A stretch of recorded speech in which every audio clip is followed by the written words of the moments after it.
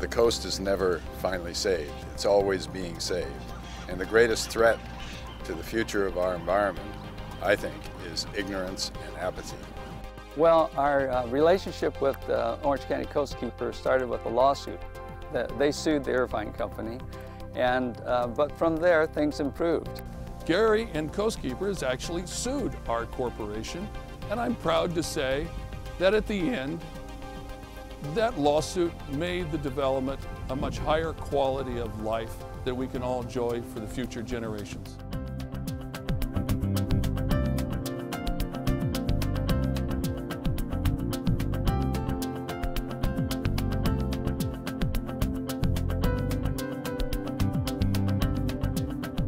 The biggest challenge is just the fact that we've spent an entire generation building the urban landscape without paying much attention to what was going to happen to the quality of the water as a result of that. And so now we're trying to change course and overcome that. And it's just been an entire generation of building an area for 3 million people to live uh, without thinking in advance of how that would affect the beaches and the water quality at the beaches. We obviously have a lot of people that are looking over our shoulders trying to make sure that we're doing the best job that we can do. And uh, we have a lot of environmental organizations who pay attention to uh, whether we're doing enough and advocate for us to do more. In particular, in Orange County, Coastkeeper is one of those organizations that's been most active.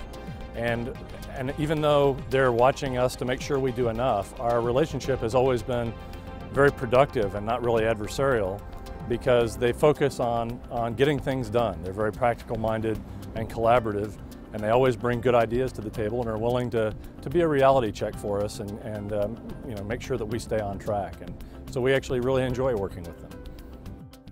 Yes, I think that Coastkeepers is the organization that is looking to what our oceans will be in the next even 20 years. And the work that Coastkeepers is doing is absolutely essential if we're going to have an outcome that is positive instead of negative. And what would California be without its coastline? We would not have the visitors that we have every year to the beaches. The beaches right here in Huntington Beach have 11 million visitors a year. And so if we have to start closing those beaches, then we have destroyed the economy of the state of California. So the work we do is the work that will make sure that that doesn't happen. Many of the things that are happening in this world have their beginnings because of corporate decisions. Well, Gary Brown is able to sit down at the board table as well as to sit down with a group of environmentalists.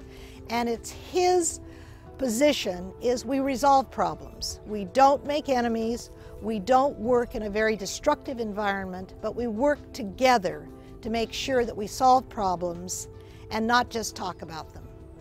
Well, our uh, relationship with uh, Orange County Coastkeeper started with a lawsuit.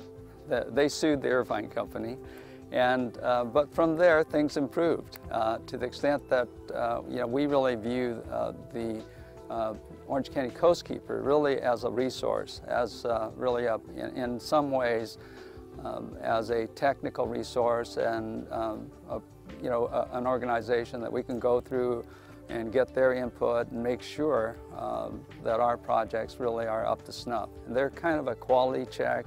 They're an organization that has, um, you know, a lot of knowledge about water quality, and also they do their homework. And so they do a very good job about, you know, making sure our, our projects really uh, work out real well from a water quality standpoint. We're, we're standing in the uh, Crystal Cove project up uh, on Pacific Ridge, which is the very top of the Crystal Cove project. And uh, behind me is a retention basin uh, where stormwater is trapped and uh, sl slowly released down through, through the um, uh, watershed be below us and down through the ocean. And above us over here is a wetlands area where the first flush and the low flows are filtered uh, and cleaned up before they're released in the environment. In our latest project, uh, we're taking rainwater uh, one, and we've um, uh, are taking the first 1.2 inches of rainfall, putting it into cisterns, uh, over a million gallon cisterns, and taking that water and recycling it and reusing it on the golf course so, so that that water doesn't ever uh, reach the ocean. And, you know, Coastkeepers was very instrumental in getting us to, you know, do that. Orange County Coastkeeper has two things that are important. One, they have credibility. And secondly, in, in part because of that credibility, they're invited to the table. So whether it's a table of uh, environmental groups or a table of regulators or a table, table of municipalities who are regulated, Orange County Coastkeeper is there and expected to be there. And they give a good perspective and dialogue and almost kind of serve as the a unifying force to understand in some part the needs of municipalities, in some part the needs of, of the regulators, and certainly the needs of the environmental community. I am hopeful for the, future and I'm hopeful every time I see kids learning about clean water and kids learning about what's underneath the, the surface here, the fish, the, the, uh, the other sea life, that um, they know that they can, go, they can learn something to, and go home and change behaviors and sometimes change their parents' behaviors to make sure that the next time they come to the beach or the next time they come to the bay that it's even cleaner. And we are making progress. It's slow progress, but it's being made. One of the greatest challenges to our marine environment is trying to keep it clean, trying to lower down the polluting, and trying, um, trying to educate, educate people about the, what it does, what people do to Back Bay and what are the wetlands. I'm, I'm hoping that like with groups like this we can hopefully conserve the environment and help preserve it for future generations to enjoy it as much as I do. One thing I appreciate about Orange County Coastkeeper is their desire to get it right, to develop a firm scientific foundation for the advocacy that they do. It's not a matter of just beating on the table, it's a matter of having the information on which you are basing your advocacy. They seem to do a good job of that. You know, it's an interesting world out there. Uh, you run into many wonderful, talented people. You run into some characters. And in Gary Brown and the leadership of, and his personal leadership of the Orange County Coastkeeper, you have a talented character who knows how to talk, he knows how to carry a stick, he knows how to swing the stick. And I personally have seen him swing the stick. Unfortunately, it was at my head when he wanted to preserve a wetland that was a part of this overall waterfront development. In the end, we decided, you know what, it was better to keep that wetland and not only keep it, but to enhance it.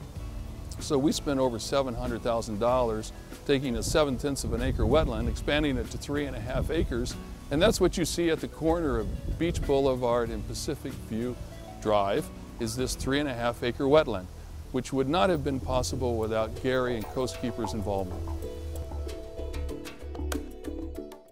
The Orange County Coastkeeper has made an incredible difference in terms of becoming actively involved in issues that affect the well-being of our marine environment, as well as educating people, young and old, about the importance of what they do that affects the marine environment. The Coastkeeper is a critical catalyst in making a difference for the future of our coast. And I've been proud to be associated with the Orange County Coastkeeper, with Gary Brown, with all the, the people that I've met in the course of my work with the Coastal Commission uh, who have dedicated so much of their lives to improving the quality of our marine environment, not just the water, but the coast. Of all the organizations that we work with, Orange County Coastkeeper is one of the most productive for us to work with. And they do, uh, in, in my opinion, make very effective use of all the resources that they have. They're always keeping their eye on the ball and doing the right things. And certainly I personally support them and hope that everyone would. Everyone has to take responsibility. Every human being on this earth has a responsibility to make sure that they either have a hand in improving their environment or that their own personal lives are given to making sure that what they do does not harm the environment around them. If we pay attention and if we make an effort to improve the way that we impact, interact with the environment, we in one generation can make a difference. We can turn it around. We did it with the brown pelican. It was done with the gray whale. It's been done with other species. It was done with ozone, the ozone hole uh, layer. It can be done with the planet if we commit ourselves to making a difference. But that means activism. That means we have to get involved.